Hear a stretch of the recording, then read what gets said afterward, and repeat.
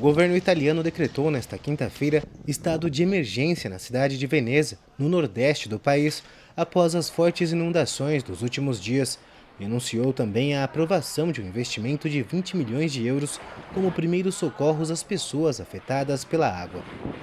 Quarta-feira foi registrada a pior inundação em Veneza desde 1966, com 80% da cidade sendo afetada e registro de água de 1,87 m de altura.